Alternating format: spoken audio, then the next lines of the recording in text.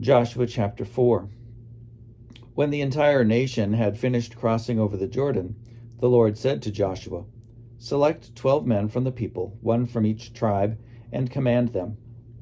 Take twelve stones from here out of the middle of the Jordan, from the place where the priest's feet stood.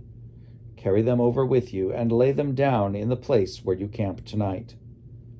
Then Joshua summoned the twelve men whom he had appointed from the Israelites, one from each tribe. Joshua said to them, Pass on before the ark of the Lord your God into the middle of the Jordan, and each of you take up a stone on his shoulder according to the number of the tribes of the Israelites, so that this may be a sign among you. When your children ask in time to come, What do those stones mean to you? Then you shall tell them that the waters of the Jordan were cut off in front of the ark of the covenant of the Lord. When it crossed over the Jordan, the waters of the Jordan were cut off. So these stones shall be to the Israelites a memorial forever. The Israelites did as Joshua commanded. They took up twelve stones out of the middle of the Jordan, according to the number of the tribes of the Israelites, as the Lord had told Joshua, carried them over with them to the place where they camped, and laid them down there.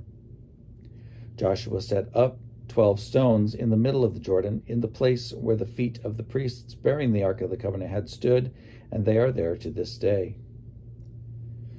The priests who bore the ark remained standing in the middle of the Jordan until everything was finished that the Lord had commanded Joshua to tell the people, according to all that Moses had commanded Joshua. The people crossed over in haste. As soon as all the people had finished crossing over, the ark of the Lord and the priests crossed over to the front of the people.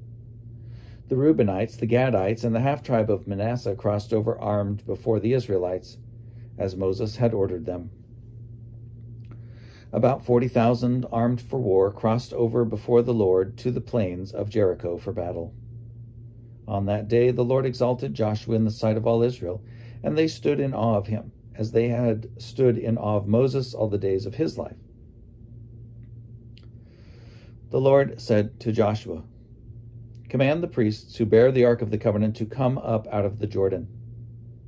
Joshua therefore commanded the priests, Come up out of the Jordan.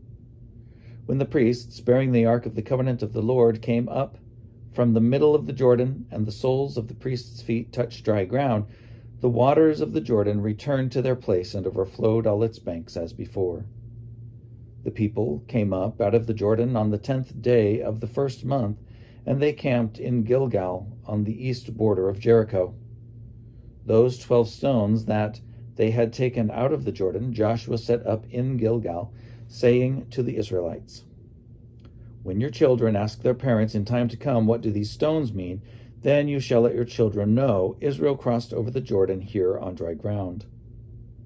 For the Lord your God dried up the waters of the Jordan for you until you crossed over, as the Lord your God did to the Red Sea, which he dried up for us until we crossed over, so that all the peoples of the earth may know that the hand of the Lord is mighty, and so that you may fear the Lord your God forever.